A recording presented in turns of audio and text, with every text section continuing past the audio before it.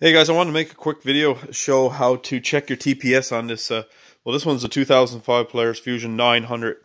So um, there's not a lot of videos really explaining. Everything says you got to use digital wrench, but that's not necessarily true. So uh, I want to show you how to test it without digital wrench and without the TPS tool that you can buy online with a 9 volt battery and yada yada yada. Okay, so uh, the lighting in here is horrible, but you're going to have to get a good idea of what I'm doing here. So now see here. Okay, and here in this uh, in this set of harness here, you can see there's a four prong plug right here. That is for, I believe, is for the diagnostic tool to hook into.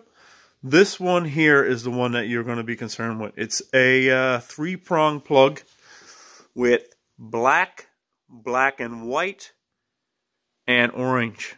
So you're just going to want to stick some wires in there or whatever whatever you can because you're going to power up the computer through the harness with with these wires. So I just have a 5 amp 12 volt battery charger here with uh, just some alligator clips here. So obviously black on black. I don't know if you can see this in the video here on just. Now this is probably not the safest way to do this. And if you can see a way to make it better, then that's fine. But that's all I have right here right now. So here we are. Oops, I fell out. This is going to be hard to do with one hand. I'm starting to realize here.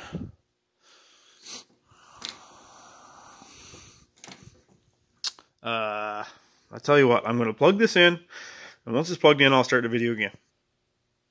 Alright guys, all plugged in. So the black one is below the rag. The, the positive's on the top the positive goes through the orange into that three prong harness man this the lighting in here is horrible but uh, okay so so right now the computer is powered up and your TPS plug which is where right here so on the red and white here which is to the far right it will have 5 volts or 4.93 in my case it was and uh, and on the far left is the ground and in the center is the signal, the TPS signal that goes back into the computer, which reads voltage. So as you can see, I got a back probe with just some springs that I had kicking around.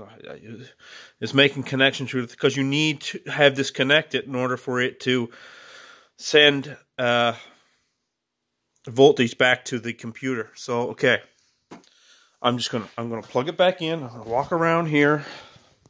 Sorry about this video, guys. It's, it's just to give you an idea here. So I'm going to plug in the TPS with, with it back probed like it is. You don't really need the one on the black side because what I'm actually going to do, that's just ground to the chassis anyway. So I'm just going to ground it anywhere on the snowmobile. Through the spring would be good. That should be a good enough ground. And okay, you're just gonna need a multimeter. This is like cheap one from Canadian Tire, uh, whatever it works. All right, so now, God, this is hard to do with one hand. All right, so now I don't know if the lighting is any good down here. Can you see? Let's see. My goodness, the lighting is horrible.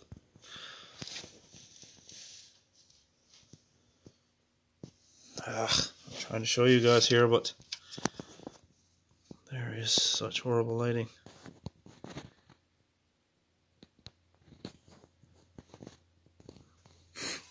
Okay, you can kind of see here. So what you're going to do anyway is put the positive onto the blue back probe wire. And you should get 0.93 volts if accurate. Now I'm just going to blip the throttle here. This is full. That's 3.98 or whatever. And back to close was 0.94, 0.93. So that's exactly where it should be. My TPS is working fine.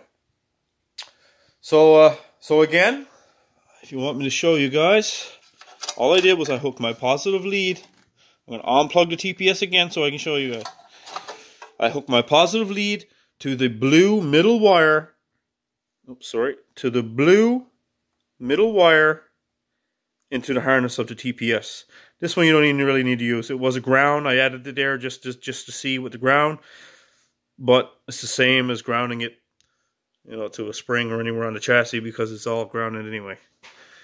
Okay, I hope this video helps somebody else. Uh, thanks for watching.